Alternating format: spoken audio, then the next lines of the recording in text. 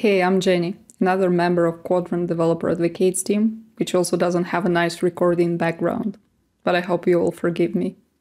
So, as you remember from day zero videos, in vector search you can use different kinds of vectors, even though the dense ones are the main characters here in Qdrant. Well, today we're going to talk about sparse vectors and how to use them. Sparse vectors are high-dimensional vectors filled up with zeros except for a few dimensions. Each dimension in a sparse vector refers to a certain object, and its value to a role of this object in this particular sparse representation. For example, think about a movie recommendation system. Each sparse vector could describe a particular user's opinion about movies in this system, each dimension of a sparse vector, movies, and each value of these dimensions, a particular user's rating of this particular movie. To compare two sparse vectors, or two sparse representations, it would make sense to compare similar objects, for example, ratings of the same movie. And we have a perfect metric for that. If you remember from the day 2, we were discussing dot product, a metric which when comparing two vectors multiplies their corresponding dimensions and then sums the values up. Well, sounds very much fitting. Now let's be practical. Does it make sense to compare zeros to zeros? Does it make sense even to store all of these zeros considering that there are so many in sparse representations? Well, certainly not in a system optimized for scale. Let's get rid of these zeros then. Let's enumerate our objects, our dimensions, and give them indexes. Now we can store only indices of objects which have non-zero values, along of course with their values. Now the question arises how to compare these representations because for each time we want to compare an incoming vector with all of these representations, we need to find all matching indices and do it fastly. Well, it's possible due to a data structure organizing sparse vector elements within a database. If you remember from videos of day 2, there is HNSW, a dense vector index. Well, sparse vectors also have their own index, which is called inverted index. And don't worry, it's much more simple than HNSW, because here we're just dealing with exact matches. Let's study inverted index on an example. Let's say we have three sparse vectors. Each of them has an ID, object indices of a non-zero dimensions, and their values, weights of these objects. Inverted index maps each object to all sparse representation where this impact of this object is not null. So basically this index inverts representations it maps all non-zero sparse vector dimensions to sparse vectors themselves. Now we have a new sparse vector incoming for comparison, and we can immediately look in the inverted index and spot all the vectors having the same non-zero valued dimensions, 6 and 7. Now, to calculate similarity scores between vectors, what's left is to multiply values of each non-zero matching dimension for each vector, id1, id2, and id3, and then sum them all up as in dot product. And that's how inverted index allows for fast searches and comparisons within a big amount of vectors. Now you have an idea how sparse vectors are stored, represented, and compared at scale. Let's see them in practice, in Qdrant. The setup we're going to use for this course is going to repeat from one video to another. We're going to use Qdrant Cloud, and we are going to check our vectors in WebUI because this is just handy. So if you don't remember how to connect our client to Qdrant Cloud, which I'm doing here, or you don't remember how to open our Cloud Dash, which is here, please check out videos from the day zero and you'll get all the recommendations and all the instructions. Here I'm using everything in the same way as it was done in the day zero. So let's just start working with sparse vectors in Qdrant. Sparse vectors are configured a little bit differently in Qdrant than dense vectors. Here we're using sparse vectors config, which doesn't require defining either size or distance metric.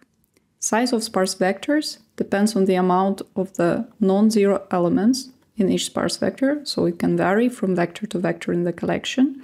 And the distance metric we're using in Qdrant to compare sparse vectors is always dot product, the one we discussed before.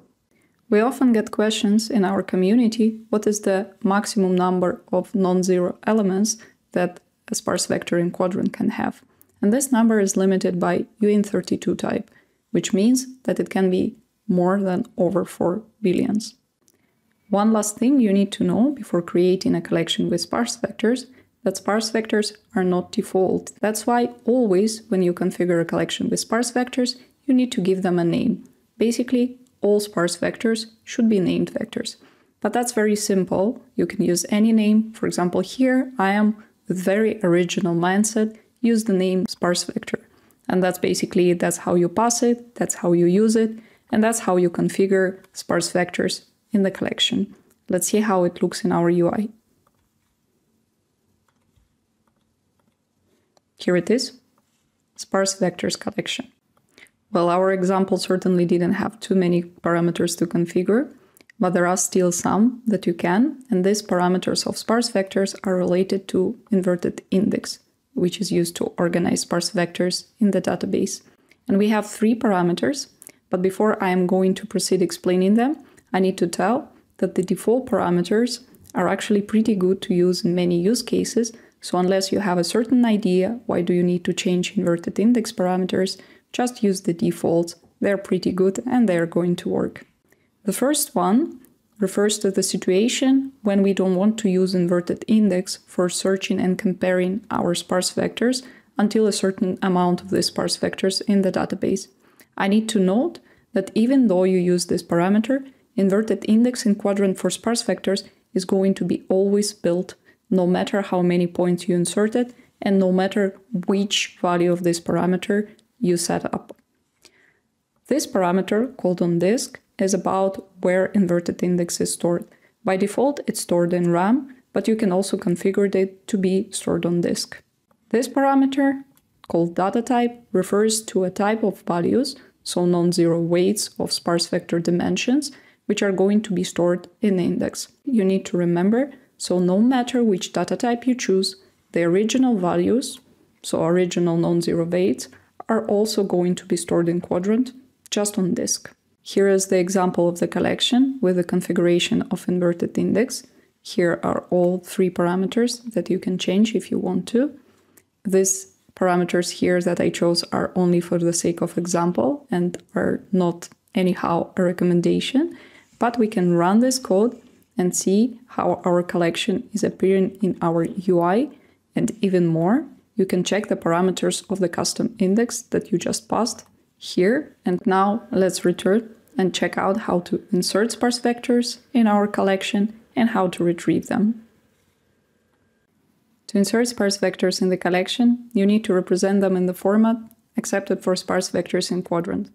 And it's pretty much exactly what I was explaining in the first part, which was more theoretical. We have indices, the non-zero indices of objects which matter in the sparse representation, and their values. Indices are represented through uint32 values, so they can vary from 0 to more than 4 billions, and values are represented as float. There are two important rules when creating sparse vectors in Qdrant and using them. Firstly, indices must be unique, and secondly, the length of indices array should be the same as the values array. Now let's see how we're gonna insert two sparse vectors in our collection. Here is the first point with a sparse vector and the second one with IDs 1 and 2.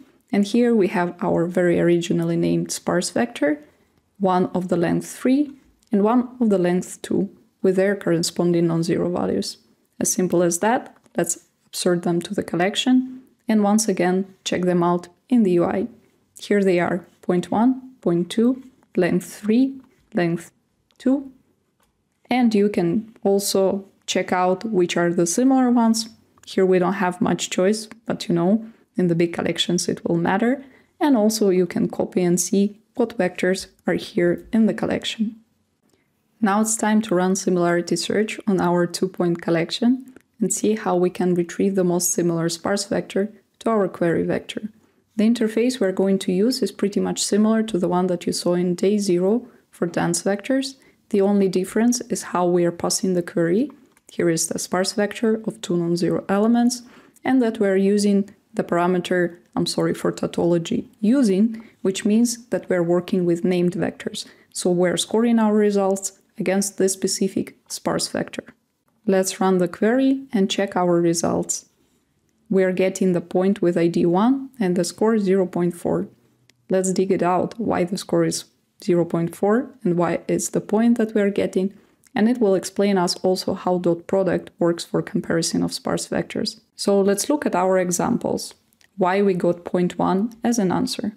In our collection we have two points. Point 1, which has three non-zero values with indices 1, 2, and 3, and point 2, which had two non-zero values with indices 1 and 5. Our query has indices 1 and 3 with corresponding non-zero values.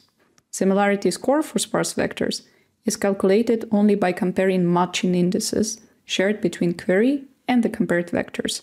So for example, with point 1, it's going to be both indices, one here and one here, and 3 here and 3 here.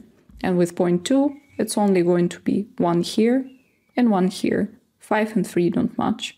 And when we just need to multiply corresponding values and sum them up, let's check it out for example for point 1. We look at the index 1, see the corresponding value 1, and here we look at the index 1 and see the corresponding value 0.2. Here is 1 by 0.2. Next, let's move to the index 3. Here is the corresponding value 1. And here we're moving at 3 and finding the corresponding value 0.2. Once again, 1 by 0.2. Here we're summing them up and we are getting 0.4. Analogously, we're comparing query and point 2 and the resulting score is 0.1, which is less than 0.4. That's why our topmost match is point 1, which we exactly got in our answer. As you remember, ID 1, score 0.4. Of course, you can do many more with sparse vectors, not only use a couple of indexes, you can combine them with filters, you can combine with them with dense vectors, and you can also use them for retrieval. That you are gonna see in the further videos. For now, you know how to store, compare, and index sparse vectors in Qdrant. In the next video, I'm going to explain you how to use sparse vectors for text retrieval and where this method shines compared to, or even combined with, dense vectors. See you there.